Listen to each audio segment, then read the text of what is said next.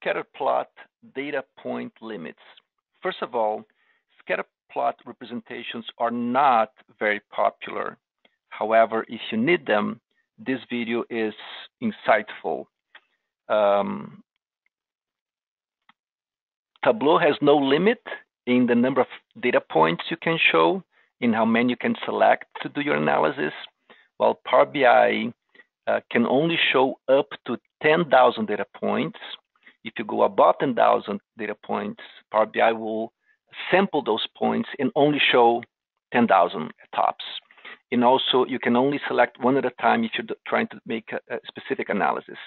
I'm going to show a real case scenario where, um, regardless of how well you do the sampling of the extra data points, uh, by doing sampling, you might be hiding trends or not helping decision makers easily find trends that if you see all data and you can select them at will, um, it's it's great. If you don't have those, that functionality, you risk missing important uh, trends behind your data. So I'm going to show a real case scenario.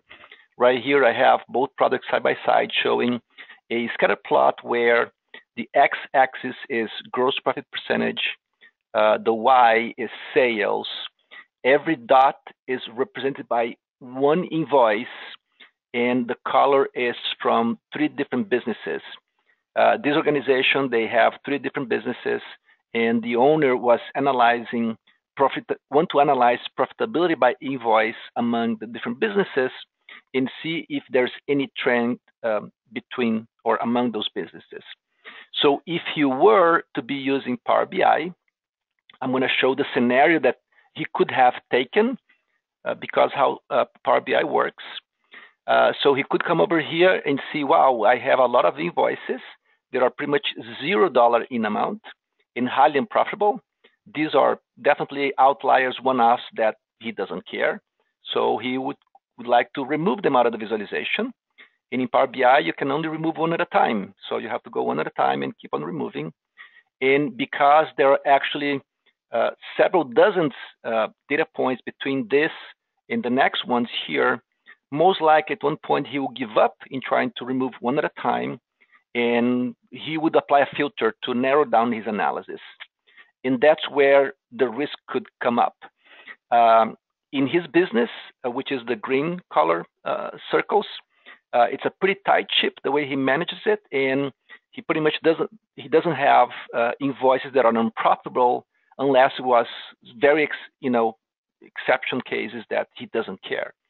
So with that assumption, he could he could have come to the filter section and say, hey, I only want to see invoices that are greater than or equal to zero in profitability.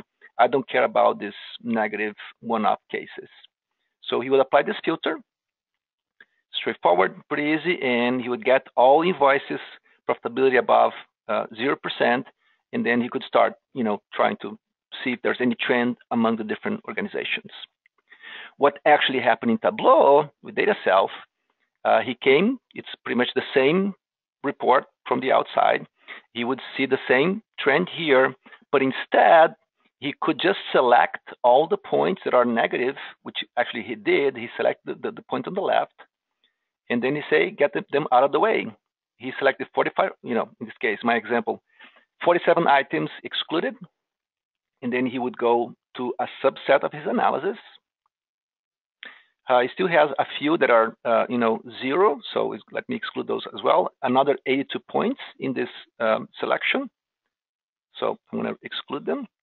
Now, when he excluded these zero invoices, zero dollar invoices, he noticed that um, for a bunch of invoices that were unprofitable, you know, here's the zero, they actually had pretty large sales, you know, right here, $100,000 and whatnot. Were like, know, what's going on here?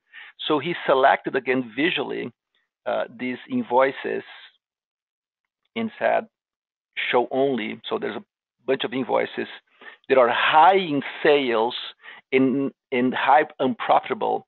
And what he found out was actually that the other two businesses, they had a, a flaw in the way the ERP was set up and that flaw would allow uh, salespeople to push invoices highly unprofitable in special deals, and that was not what was supposed to be done. So once the, he found out this trend, he was able to work with the other organizations to close those those those flaws and tell salespeople that they could not do that, and they fixed the problem. And right there, they paid for the investment in, in Dataself and Tableau. The point is, um, uh, with Power BI because it, it, it does sampling of, of points and the, the way that people navigate is not so straightforward. Uh, it's risky for people to miss uh, to in, to see trends like this. Uh, the person doing analysis in Power BI, they really know how to use filters and whatnot to uh, avoid getting into this kind of, um, um, you know, risking not seeing some some special special trends. So I highly recommend if you're doing uh, scattered plot analysis to really know how to use Power BI, be on top of it, or use other tools like Tableau that that can give you the whole picture and help you navigate as as needed.